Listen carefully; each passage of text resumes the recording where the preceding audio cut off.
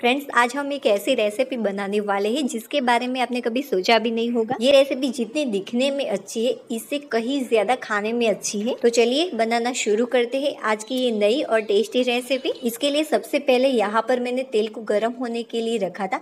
तेल थोड़ा सा गर्म हो जाए, फिर हम इसमें आलू डालेंगे। यहाँ पर मैं चार जितने आलू को फ्राई करती हूँ। आलू को हम तीन से चार मिनट तक मीडियम फ्लेम पर ही फ्राई करेंगे। तीन से चार मिनट में ये आलू अच्छे से पक गए हैं। अब हम एक आलू लेंगे और इसके पर एक कटोरी रखेंगे और थोड़ा सा प्रेस करेंगे। सभी आलू इसी तरह से मैश कर लेंगे। अब हम एक दूसरी प्लेट लेंगे। यहाँ पर मैंने कॉइन पेपर लिया है। इसकी मदद से इस प्लेट को हम कवर कर लेंगे। अगर आपके पास कॉइन पेपर नहीं है तो आप प्लेट में थोड़ा सा तेल लगा लीजिएगा। अब हम इस प्लेट में आलू रखेंगे। मैंने एक रोटी को फ्राई किया था, जिससे एक क्रिस्पी हो गई इसके हम छोटे छोटे टुकड़े करेंगे और फिर रखेंगे। इससे थोड़ा सा क्रंची टेस्ट आएगा।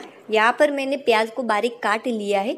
वो डालेंगे दो से तीन चम्मच जितना। कटा हुआ टमाटर डालेंगे, वो भी दो से तीन चम्मच जितना। यहाँ पर मैंने हरी मिर्च को बारीक काट लिया है। वो डालेंगे आधी चम्मच जितना। अब स्वाद के अकॉर्डिंग थोड़ा सा ही नमक डालना है। यहाँ पर मैंने काश्मीरी लाल मिर्च पाउडर लिया है, वो डालेंगे, जिससे कलर और टेस्ट बहुत ही बढ़िया आता है। अब बारीक कटा हुआ धनिया डालेंगे, दो से तीन चम्मच जितना।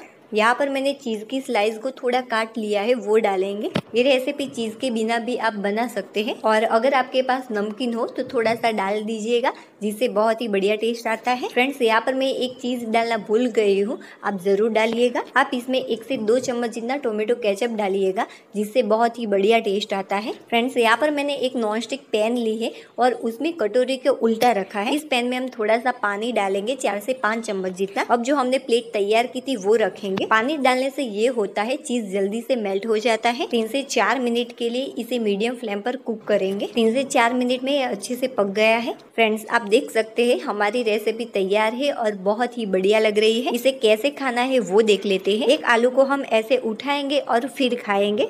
फ्रेंड, वीडियो अच्छा लगा हो तो लाइक कीजिएगा और नहीं लगा हो तो डिसलाइक। चलिए मिलते हैं एक नई रेसिपी के साथ। तब तक के लिए बाय।